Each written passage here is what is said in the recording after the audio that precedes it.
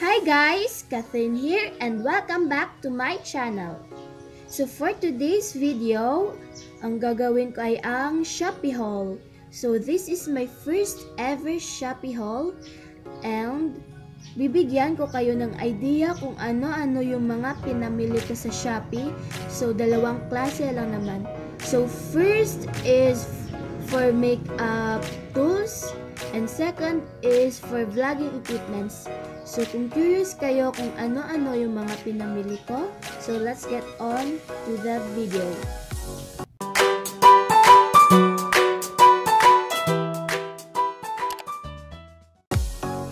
So, nandito sa magsigilid ko yung mga pinamili ko. So, ito. Nasa dalawang plastic siya. Yan. So, dalawang shop yung binilhan ko. So, I ordered these items last November 2, 2018 and na-receive ko siya last November 12, 2018. Yan. So, as you can see, bukas na yung suko. So, it has 5 items dito sa loob.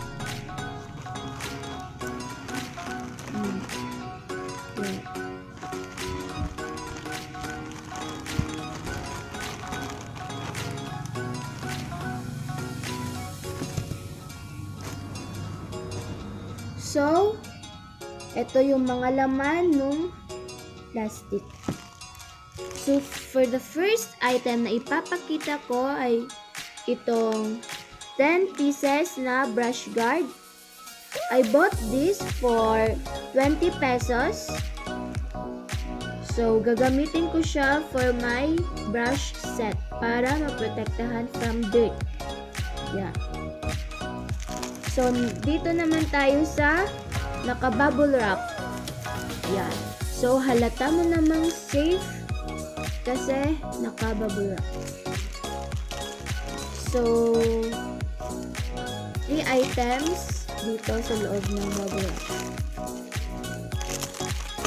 So, for the first item ay itong hair velcro pad. So, dalawa siya. Yan, dalawa. So, naka-scotch tape. Yan. So, I bought this hair velcro pad for 5 pesos. So, isa nito is 5 pesos. So, saan ba ginagamit itong hair velcro? So, ginagamit ito dito sa buhok kapag nag-makeup. So, ito try ko.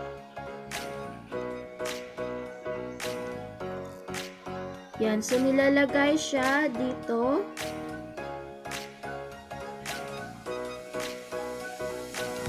Yan. Para kapag nagme-makeup ka ay walang dumadapo na buhok dito sa sa mukha mo. Yan.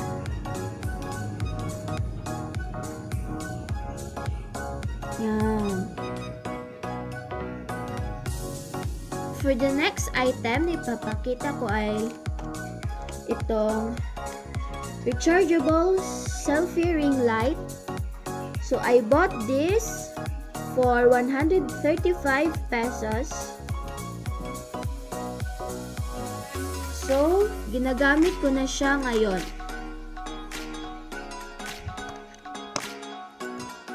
So, ito siya.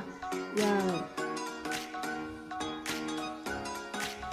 So, tatlong stages. Itong ilaw niya. So, first, yan.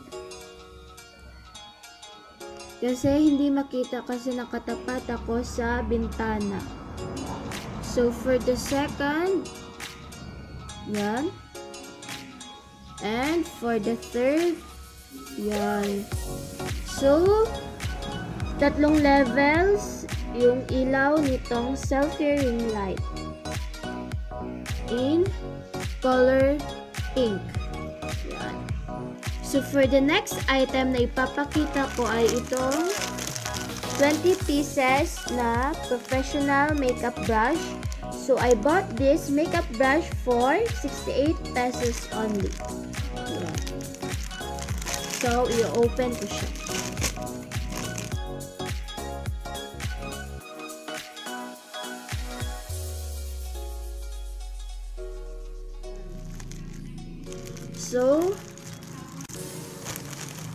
It is color gold and pink.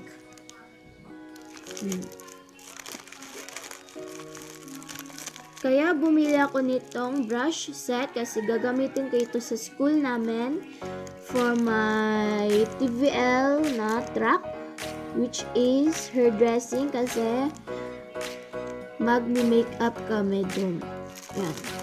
So, ipapakita ko yung mga brush. So, for the first five,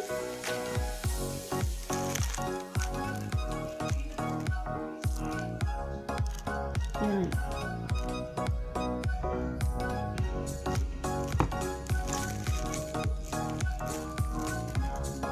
For the next five, yan.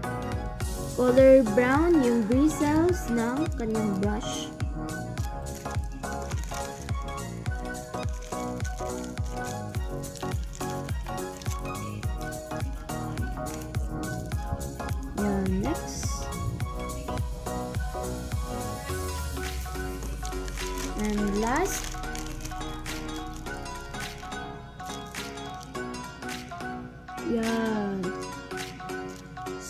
Gaano nga ba ka-smooth yung brush niya?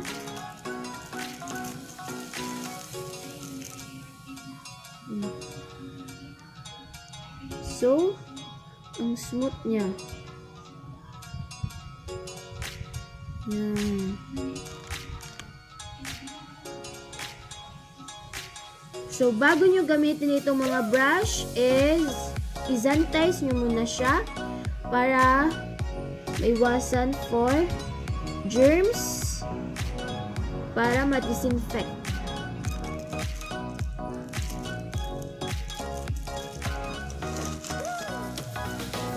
So, ito lahat.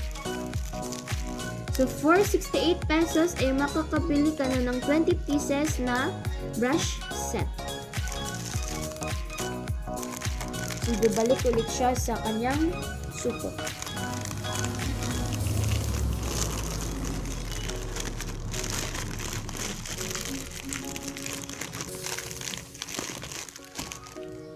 So, for the last item na binili ko sa Ginatan Store ay itong Real Techniques Miracle Complexion Sponge. Yan. So, this is only fake. And I bought this for 45 pesos. So, hindi ko i-encourage na bumili ng fake.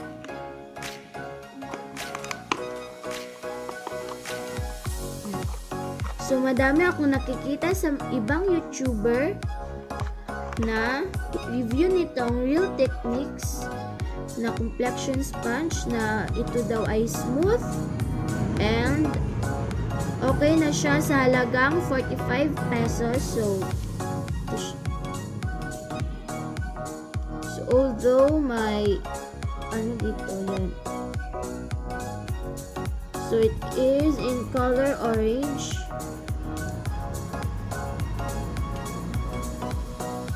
So, tama nga naman ang kanilang review kasi smooth nga naman. So, dito. So, this is the usage. So, dito, for the flat edge, it contours around eyes and nose. So, ito. Dito. And nose. So, for the sides, dito, yan, sides dito. So, yung usage ng sides niya is to blend large areas of the face. So, dito. Yan. So, for the tip, yung usage na niya naman is for covers imperfections. So, pwede siya kahit saan padampit-dampit. So, ito yung usage niya. Yan. So, babalik ka ulit siya sa kanya nilog. Yun lamang lahat yung mga binili ko sa Ginatan Store.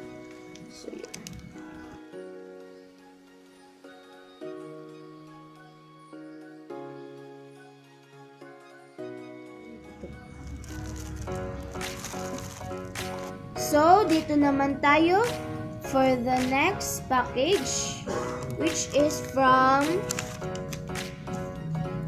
SIN0124 or XIN0124. So, ilalagay ko ulit sa description box yung link ng shop. So, it has three items. So, kakarating lang nito ngayon. Uh, I bought this last November 11, 2018, yung kanilang 11-11 na sale ng Shopee which is uh, for free shipping. And I received this today, November 19, 2018 yan, so ipapakita ko na siya sa inyo. So inopen ko na siya for excitement. So ito So, ito yung items. So, nakalagay ito sa bubble wrap. Yan.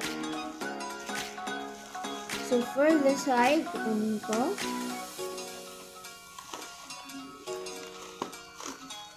Yan. For the first item, ay itong selfie stick.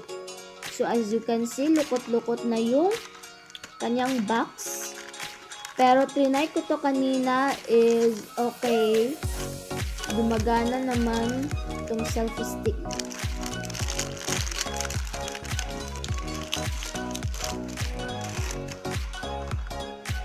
So, ito. Color black and and pink.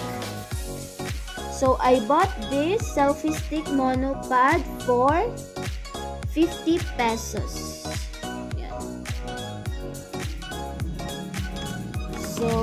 The next item ay ang Universal Octopus Gorilla Phone Camera Tripod with Phone Holder. So, ginagamit ko siya ngayon. So, ipapakita. So, ito yung Universal Octopus Gorilla Phone Tripod. So, may free na siyang phone holder. Ito. So, itatry kong gawan ito ng review. Yan. So, for the last item na binili ko sa shop ay itong 3110 cellphone tripod camera, long tripod with free phone holder. So, nakalagay ito sa bubble wrap for safety purposes. Hmm.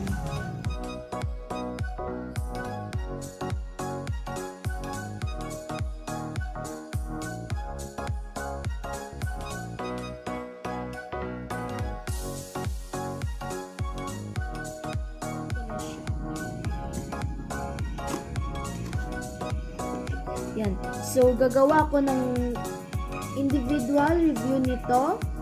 Kung okay ba siya for vlogging. So, I bought this for 159. So, nakalimutan ko na I bought that Gorilla Phone tripod for 59 pesos. So, nakalagay yung tripod dito sa bag color black. So, first ay itong phone holder. So, free na ito dito sa tripod. And, pag open ay yan. Color silver and black. So, abangan nyo na lang sa next vlog ko yung review nitong tripod. So, yun lamang yung mga binili ko sa Shopee. Thank you for watching. So, if you like this video, give it a big thumbs up and please subscribe to my channel And please hit the notification bell para updated kayo sa mga next vlogs ko. Feel free to comment down below kung may gusto kayong ipagawa sa akin. So, thank you for watching and see you on my next vlog. Bye-bye!